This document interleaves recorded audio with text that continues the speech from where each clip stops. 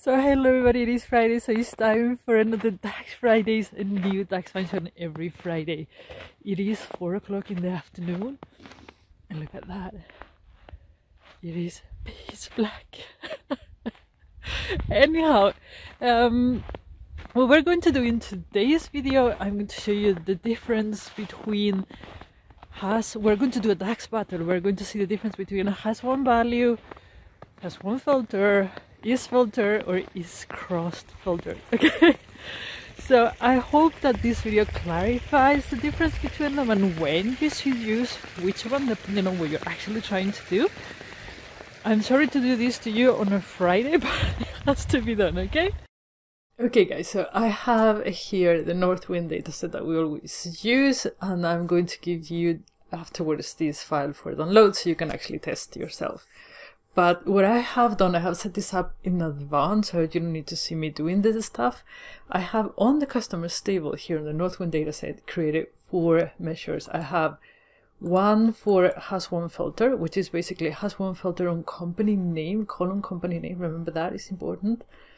Another has one value for customer's company name again, is cross filter company name and is filter company name. And then I have company name, on a table and I have put all the measures in there.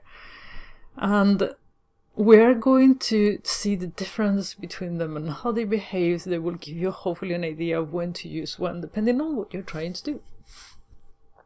Are you ready? This is going to get messy. I have a cheat table here, but I'm going to post it somewhere so you can follow along also. So here's the thing. If nothing is filtered, at least on the filters available because there always is something filtered in Power BI, believe it or not. But here has one filter. We have just a table, the measures, and you can see has one filter, has one value, is filter and is cross filter shows true for every row on the table and it shows false for the grand total. Why? Well,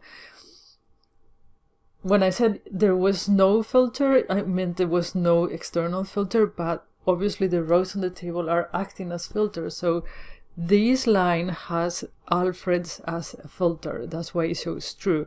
This line has Anne Trujillo, Ana Trujillo, emparedados y lados as a filter. So that's why it's showing true. But when it comes to the grand totals, then there's no filter applied. There's no external filters and the grand total has no filter. So that's why it returns false on every measure because there are no filters applied basically.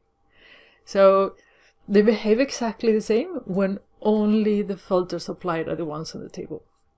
Let's start doing some filtering, shall we? This is column name. This column name is the same column name as this one. So I am filtering on the column that these uh, measures are, you know, checking for. So if I pick one company name, then you can see that all of the measures give us the exact same results. Why? Again, for the row, there is this Berglunds snabbköp that is giving us the the filter for the row. So there's just one filter, one filter. So everything is okay. The total is just that particular company name. So there's just one, true everywhere. Gorgeous. So what is the difference? Okay, let's do like this. We're going to filter on two company names. And as you can see, things start to change a little bit. So everything returns obviously true for the row. No changes there, but look at the totals. So has one filter now, this total has both company names on the total. Even if you don't see it, they are there. So that's why it's returning false because has one value allows for filtering only one. So if it is one, returns true. If it's multiple it returns false and that's why you see false because here there are two. And the same is has one value. It has it allows only for one value.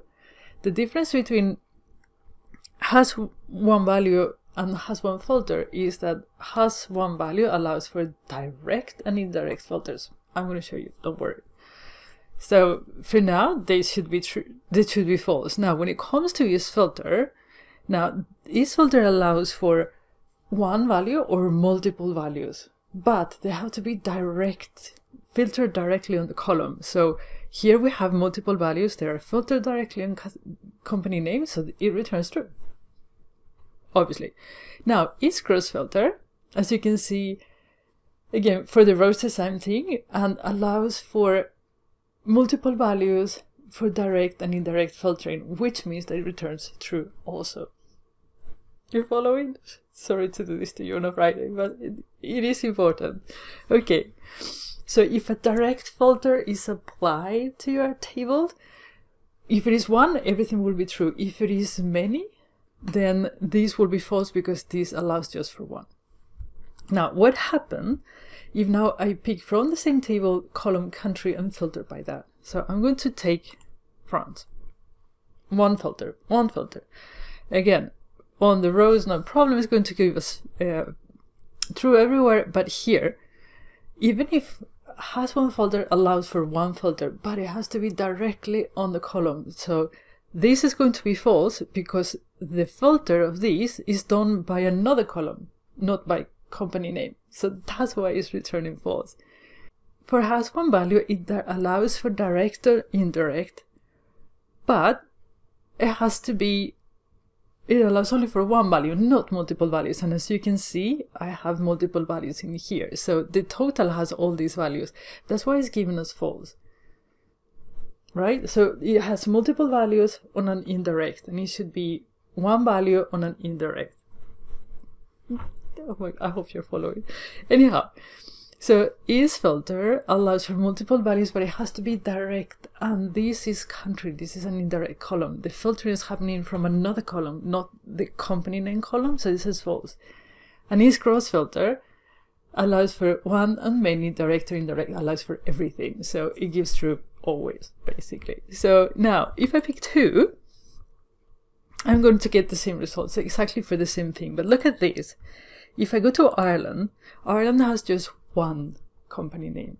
So I am filtering this on an indirect co column, but it's returning just one value. So suddenly has one value returns true, because that's what we say, right? Has one value allows for one value with direct or indirect filtering.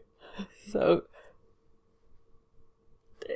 it is you, you have to think about it in, in order to understand how it works. So Okay, so here's the thing.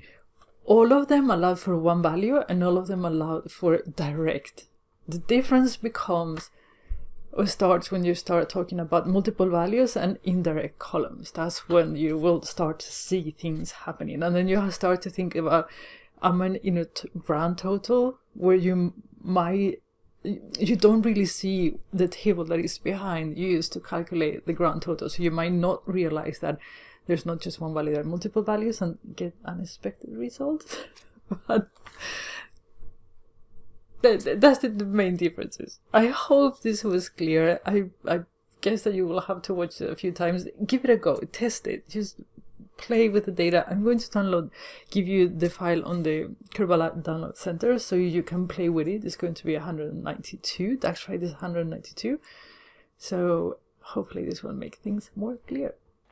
Okay guys, I hope you enjoyed the video. I will see you again on Monday as always. If you want to check any other of my Dax Fridays battles, there's going to be, you don't know what I'm pointing at, but you'll see there's going to be a new video there in case you want to check more content, okay? I'll see you again on Monday. Take care. Bye.